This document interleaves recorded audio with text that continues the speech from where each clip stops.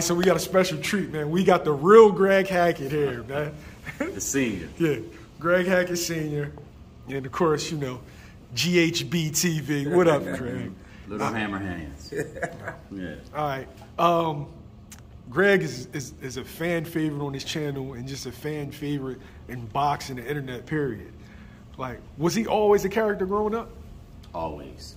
Um, but he was uh, he was always different. Um, very mannerable. Um, didn't like a lot of sugar. Uh, didn't like a lot of candy. Um, I tell him to go to bed. He'd say, "Okay, Daddy." You know, you hear his voice now.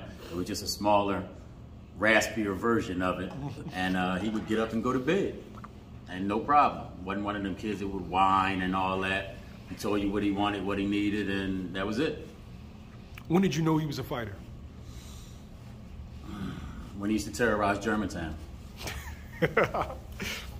and he wasn't uh G was never a bully. I call him G because um, the way I explain it to people is me saying my name back to myself just sounds strange, so I always called him G.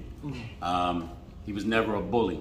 He always stood up for people that were getting bullied, or you know, people when people were doing wrong stuff. He, you know, he would check them. He'd call you on your stuff, and he was always like that. He didn't go around starting trouble, but um, you know, most of the time he would damn sure finish it.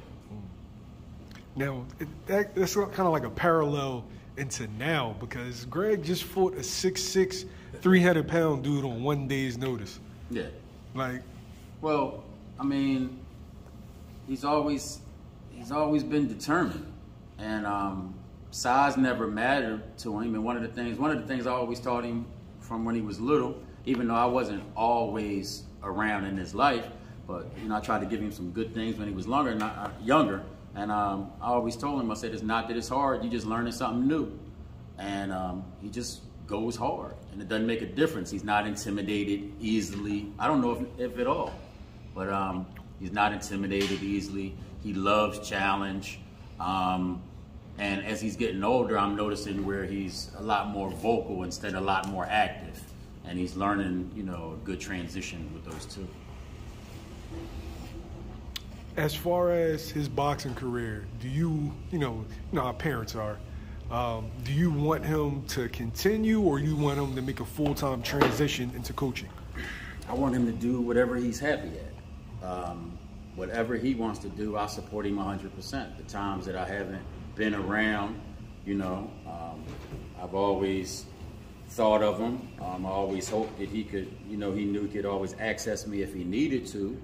However, whatever he, he wants to do, I want him to do. He's always um, made he's made really good decisions. I mean, I'm, I'm fortunate enough that none of my children um, are are trouble making kids. You know, I mean, most of them are adults now, but none of them are bad people. All of them are, you know, skilled and successful at what they do. So, um, you know, he comes from good stock, and whatever it is that he wants to do, I support him 100%. I love to watch him do whatever he does because, I mean, in our blood, we just try to be the best at whatever it is that we're doing. See you later. And you be safe, bro. Uh, we try to be the best, at, you know, at whatever it is that we're doing. And in training, watching him work with his fighters, he, he pulls the best out of them. You know, he observes what's going on with them, and he goes ham. Um, if he was to fight, it would be hard, honestly, I think, to find somebody that he would listen to. Uh, because he is so strong-headed and opinionated. He wants to do what he wants to do when he wants to do it. so, therefore, I think, it, you know, to answer the question, I think he would be a more successful trainer. I know he. I, listen, he's going to be. First of all, let me let me let me put a North Philly stamp on this. My son is only 36 years old. By the time he's 46, I mean he's already a problem now. By the time he's 46, it's going to really be a problem. And his name is going to be synonymous with the greats as far as when it comes to training.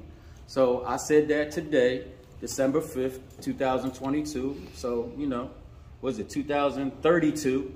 You know, yo, he going to be in the books. So, Now, Greg, Yeah. like you said, you're 36 years old. Yeah. Technically, you're supposed to be carrying a spit bucket.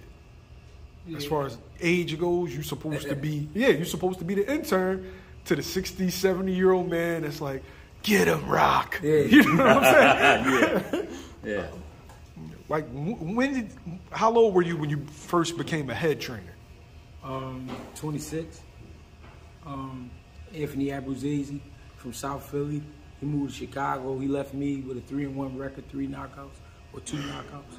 Yeah, two knockouts, and um, that was my first like real fighter that I was started to develop.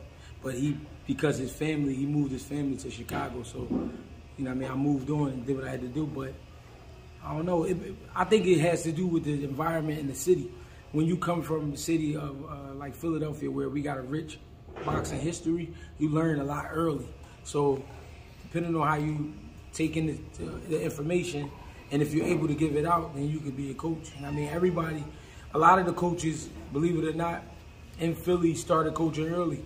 Fred Jenkins had a world champion at 26. Yeah. You know what I mean? So it's not like an unheard of thing. It's just, you know what I mean? It's my time now. You know what I mean? Me and a couple other coaches.